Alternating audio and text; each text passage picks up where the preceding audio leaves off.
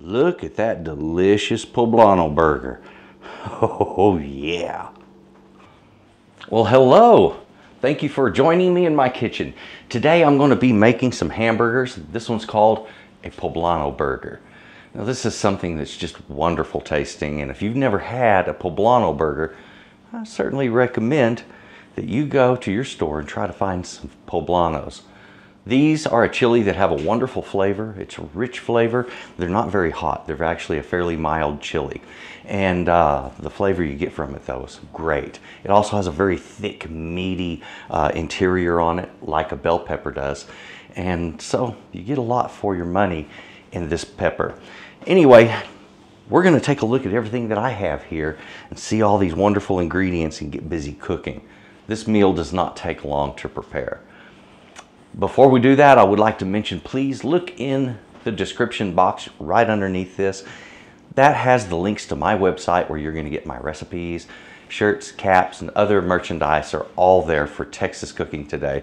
So if you would, please take a look at that. And uh, the recipes are a really good value. Once you see how they're written, you're gonna be surprised. Um, I've got some great ingredients here, wonderful stuff, and I'm looking forward to sharing this with you. So come over a little closer. We're going to get started making a fantastic tasting hamburger. Come on.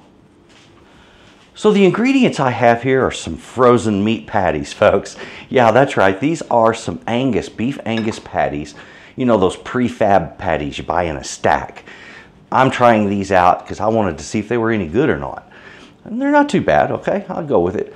You can cook these from frozen it works, believe it or not. I've done it for years. I don't make a habit of it. From time to time, though, I'll do this. Poblano's a great chili. You can substitute a bell pepper for this or an Anaheim, but frankly, if you can get this, it's the one to go for.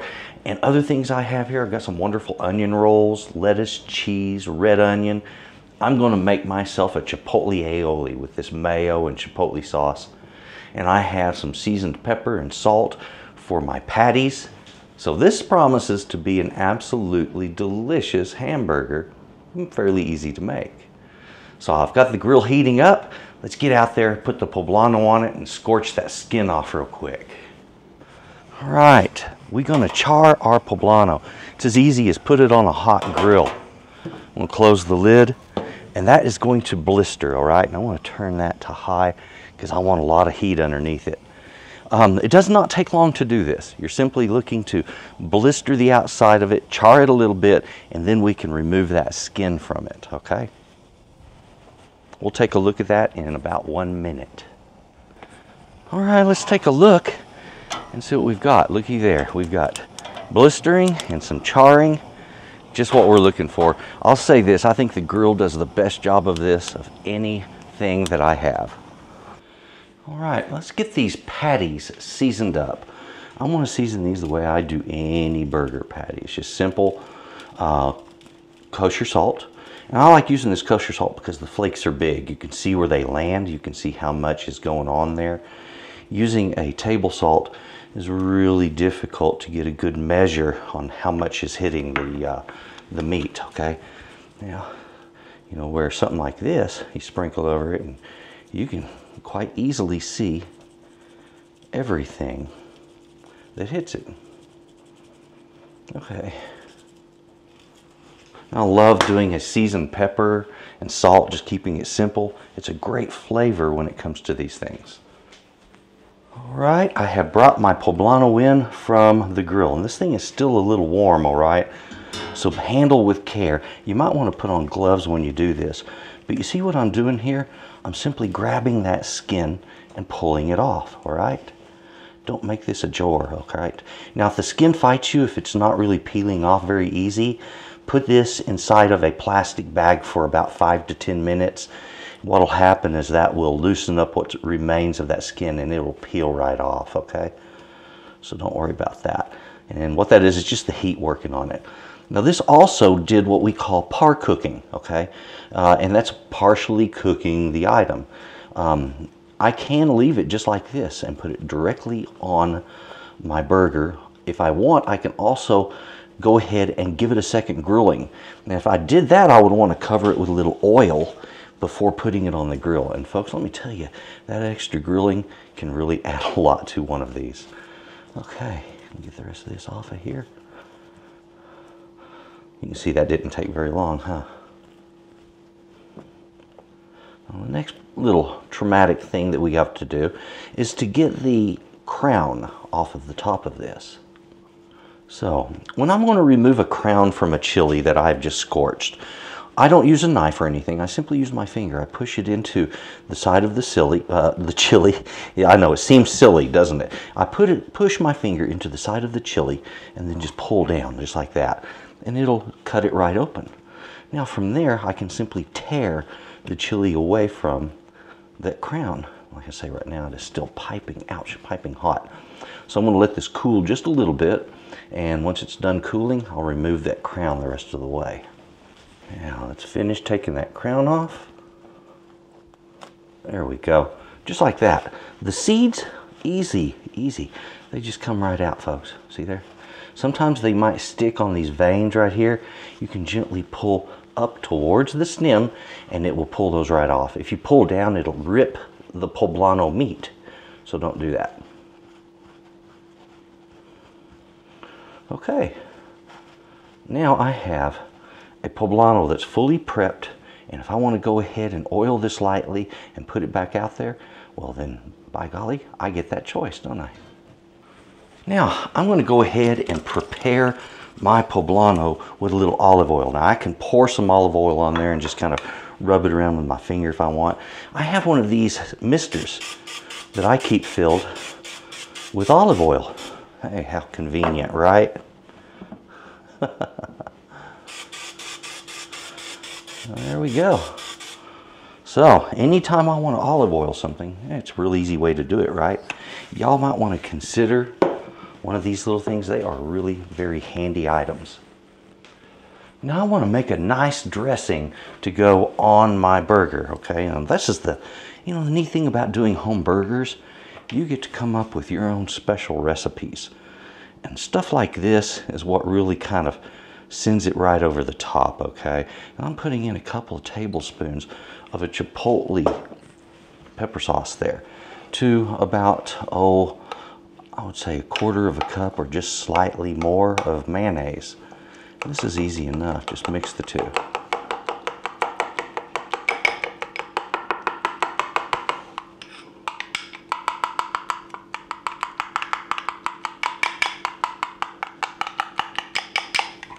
See there, they'll combine, just be patient.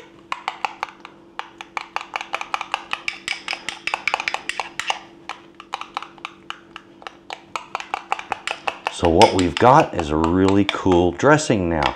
I've got this this mayo with a chipotle kick to it. We call this an aioli, okay? And it is a really cool way to dress up a lot of dishes. This works for like a salmon. It's a nice salmon sauce. It works great on hamburgers. It's just good stuff. Now I'm to cut my bun, and I'll say this.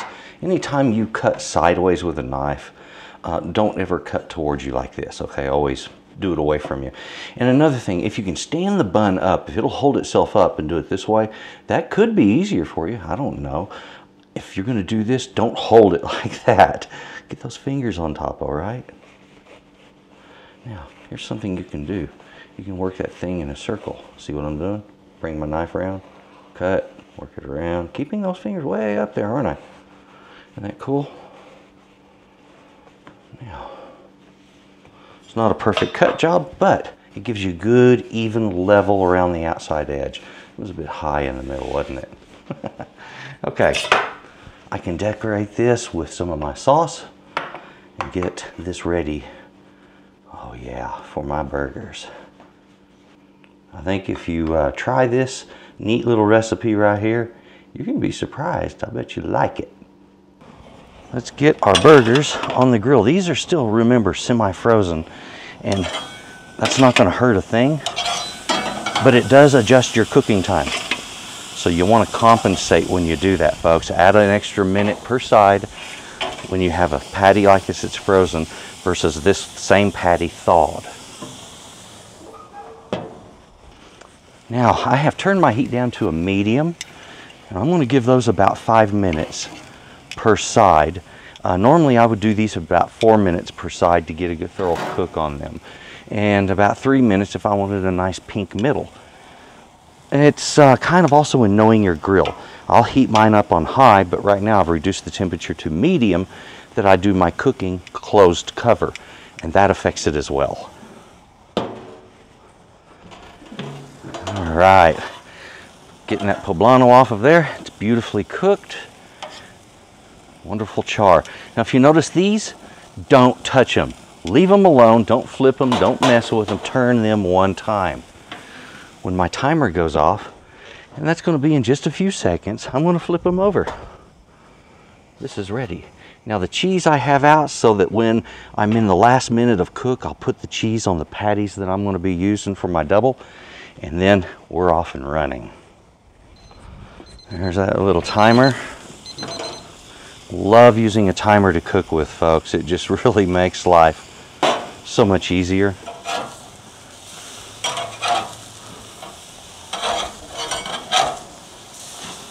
There they are. Those are looking the way a good burger should look. Set that timer again. We're off and running. I am in the last moments of my cook here. I've got some beautiful sizzling burgers. Oh, those look good. My cheese is sticking just a little bit, but I think we can save it. A little cheese on there and one without.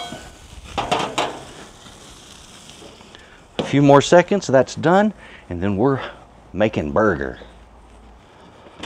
All right, looks like I have beautiful burger coming my way. oh yeah.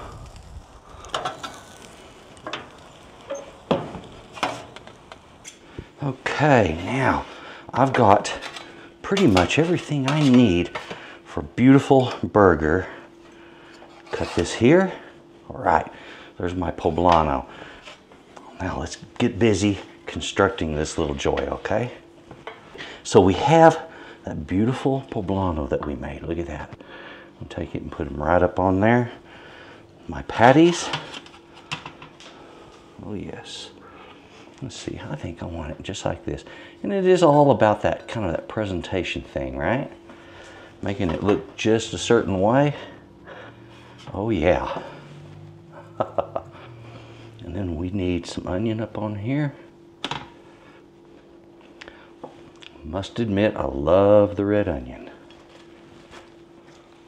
A bit of lettuce. Mm-hmm. And it looks to me, ladies and gentlemen, like we've got a heck of a hamburger going on right here. Well, folks, we have hamburger. Gorgeous, delicious hamburger. I'm looking forward to digging in on that one. Well, that was fun. You know, I love doing a grilled meal. It is easy, it's fun. There's so much good flavor going on. And then you get to enjoy that little darling. Mm. Mm. mm. I didn't say it wouldn't be a little messy. All right, delicious though. Oh man. The poblano. What the poblano does for a burger, it's incredible. It's hard to describe it. it is something that really needs to be experienced. Give that a shot. You're going to enjoy these burgers. And please, take a look, description box. Go to my website, satrotter.com. That's the link right down in there. It's easy to find. Also, check me out on Facebook, Twitter, and my other social media. Folks, thank you for looking and watching what I had to offer you today. And please enjoy my other great recipes. Thank you for watching. You folks have a good day. Bye-bye. Oh, yeah. Mm.